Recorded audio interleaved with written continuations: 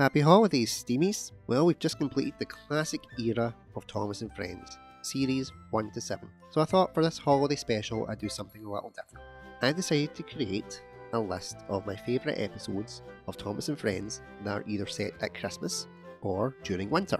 The reason it's not a straightforward Christmas list is that after doing my research on the classic era, we took all the episodes that were set at Christmas time, we'd only have four. So I expanded the list to include all winter related episodes, i.e., stories that are set around the winter season, and it bumps up the total to 15 episodes. And that to me is more like an actual list. As this is the case, there's a couple of caveats that I need to state. And the main one being that if an episode is set at Christmas time in the winter, it will automatically go higher than a good story that is set in the winter season. For example, I love The Flying Kipper. I'm not as fond of Thomas's Christmas Party. On this list, Thomas's Christmas Party would go higher than The Flying Kipper because it's a story set at Christmas. Whereas The Flying Kipper is a brilliant story, but in the winter season. I know for some fans that'll be confusing, but for my head, it makes sense to me. It is my list, and I just hope that you respect my opinions. Also, I'm not going to go into full deep dive of the episodes because I have a slight throat infection and I need to keep my energy for everyday life, like my day job and looking after my family. So these are my top 15 winter themed episodes from Thomas and Friends The Classic Era, Series 1 to 7. Once again, these are my own personal opinions, and no doubt your list will be different than mine. That's the one thing that makes the Thomas fandom so unique. And please let me know in the comments what your favourite winter themed episodes are. All I ask is that you be respectful, and above all, enjoy the video. Okay, let's dive in. Number 15 Jack Frost. It's only here because 15 seems like a better top number round off than 14. That's just the way my head works. I honestly don't want to talk about this episode, I think it's garbage. Number 14 Snow. Yes, the Series 5 fanboys are going to absolutely annihilate me for putting that at second bottom. But even though it's a great winter setting, the fact that it jumps from the original narrow gauge engine models to the new narrow gauge engine models and the issues that I had around the story, I just couldn't see past it. There were just other episodes that were better on this list. Number 13, It's Only Snow. A series 6 episode that totally debunks the purpose and presence of the lesson that Thomas learned in the first series. In Thomas Terence and the Snow, Thomas does not like the fact that he has to have a snowplow, thinks he's invincible to snow. It comes back and bites him in the backside. Terence saves him, and he learns a lesson. He learns that while he doesn't like his snowplow, they are a necessary evil to do his job. In this episode, he still doesn't like his snowplow, obviously, and the fact that snowplow now looks absolutely god awful. I mean, honestly, what were they thinking with that snowplow? Makes total sense to me. But then the snowplow breaks. He powers through valiantly without his snowplow to do his job, and as a reward, he doesn't need his snowplow. I know that there was a reason behind it because it was in the works, but come on, they could have gave him back his snowplow from season one. Too big a plot hole, didn't make sense to me. That's why it's so low. Number 12. Toby Had a Little Lamb. Another Series 6 episode. The introduction of Farmer McColl, from what I remember.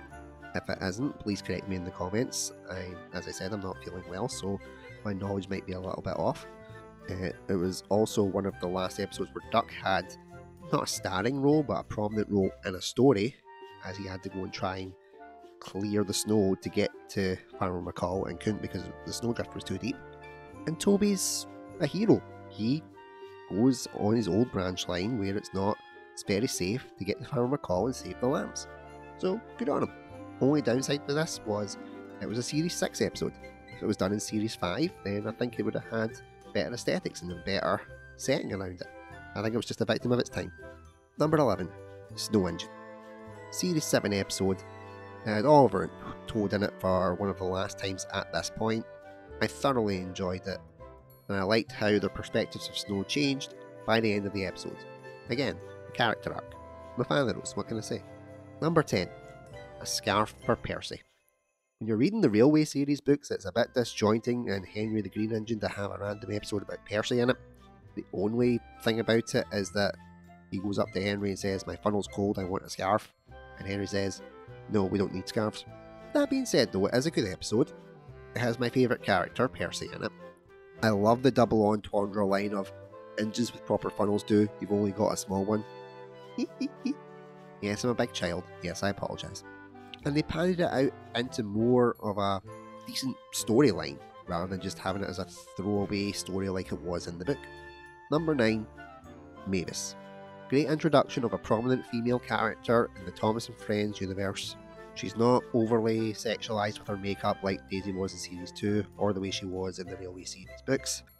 It's a good use of a winter setting to teach a valuable lesson, and it's OG Toby, where he's still that curmudgeon little old man who's like, You can spin because you messed this up. Oh, wait, it's my trucks. I better go and help her. you want any more explanations as to why I think that's such a baller move? Watch the Unlucky Tugs Sodor's finest video on Toby. Honestly, it's quite cool. Number 8 Special Funnel. Something I found ironic when I was making this list was that the two classic era series of Thomas and Friends, where the fans seem to totally fanboy out over, only have one episode each that has a winter theme in it. Season 5 had snow, Season 4 has Special Funnel. They're also unique because both episodes that are set at winter in these two series involve the narrow gauge engines. How about that? I love this story. The atmospherics and the winter Earth settings that David Mitton does in this story in particular are beautiful. The story of Peter Sam's special funnel is fantastic.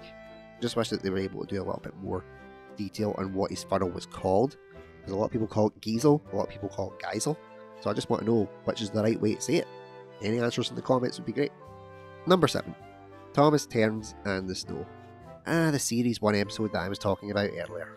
The introduction of Terence the Traction Engine, a cameo from Bertie the Bus, hands down, the best episode of the Tank Engine Thomas Again series of stories. Yes, Thomas and Bertie is quite interesting and the chase sequence is good. When you read it in the Railway series books, this is definitely the standout one. The snow settings were fantastic, the camera work was brilliant, and what can I say? Number 6 Deputation. Anyone who knows me by now knows that I love a good bit of the political side of the Railway series stories, and it's definitely the case with the Deputation. It involves two of my favourite engines, Donald and Douglas. It shows that when the engines realise that there is an injustice, aka sending both of the engines back and they will both be scrapped, they stand up for each other and fight their corner. The fact that it's Percy that has to go and speak to the Fat Controller about it, again, my favourite engine, what a chad. And it ends in the most delightful way. The twins were here to stay. Number 5, the Flying Kipper. It's the Flying Kipper. It showed everybody what this Thomas world could achieve with a winter setting. And if it wasn't for that, we wouldn't have this list of episodes. Number 4 Thomas's Christmas Party. And here we go, we're in the Christmas episodes now. Again, I'm not a fan of this episode because I would have rather it being a two parter. You had the story from Toby and the Tram Engine as part 1, and having Thomas's Christmas Party as part 2 would make it feel like a more complete, well rounded story, which it was meant to be. But with the way they've done it, I do get it, but I'm just not a fan. Number 3. Not So Hasty Puddings. This may be a surprise for people, a Series 7 episode trumping a Series 1 episode on my list.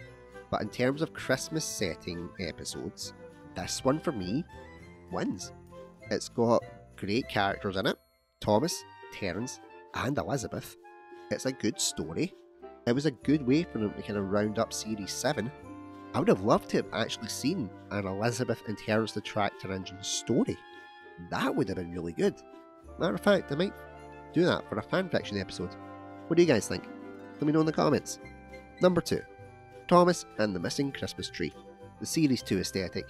Ringo Starr at his finest voiceover work performance. Donald and Douglas having a key role in it. The gaff of Edward's angry face on one of the twin engines was just brilliant. And that last shot where we see all of the engines and then Harold the helicopter comes down, it's Father Christmas, and they all sing We Wish You a Merry Christmas at the end.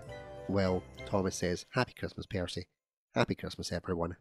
Again, Series 2 is my nostalgia series. I had that for five years of my early life, and that was the one that always reminded me of Classic Thomas. The number one winter themed episode of Thomas and Friends, the classic era, is Thomas and Percy's Christmas Adventure. One of the reasons I'm so glad I'm Scottish is that we didn't have the whole mix up that America did where they tried to make it a Thanksgiving episode, and then it was back to a Christmas episode, and then it was just a winter episode, and all that kerfuffle that went around it. Over in uh, our little neck of the woods, we don't have Thanksgiving. We just have Christmas.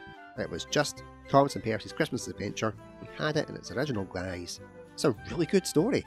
The aesthetics of season three, that opening shot of the village, going from it being in its normal kind of summer setting to its snowy setting. Oh, the transition was beautiful. Percy having a starring role in it, again, as we all know, always hits me right in the feels. Harold the helicopter's in it, Toby the tram engine's in it. That scene at the end when they're in the sheds, they all wake up and all the presents are there. It's just really nice and really heartwarming. The only question I always had to ask was, how could the engines open the presents because they don't have any hands? Did the drivers and firemen have to get up on Christmas Day and get away from their families to open the presents for them? And if they didn't, those poor engines had to just sit there and look at their presents until they all came back from their holidays. That's a bit of a bummer. So that's my top 15 episodes from Thomas and Friends, the classic era that were set either at winter or over Christmas. I hope you enjoyed the video. I hope you all have a lovely holiday season, whatever you're doing. And until next time, keep on chugging.